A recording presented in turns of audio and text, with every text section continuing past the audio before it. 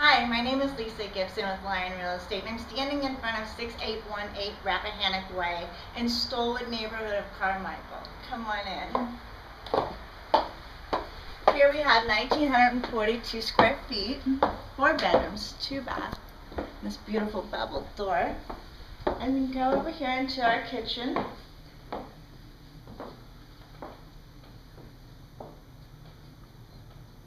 Follow me around in the backyard.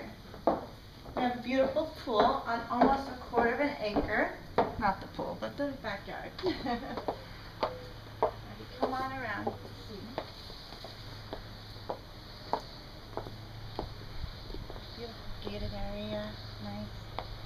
Now with this, this house here qualifies for um, a first-time home buying process that can get you into this home for $1,750 maybe something you can think about. I know, pocket change, right? Come on up here and you'll enter into our master suite. It's beautiful. It's a beautiful home. If you'd like more information on it, you just click on this button right here.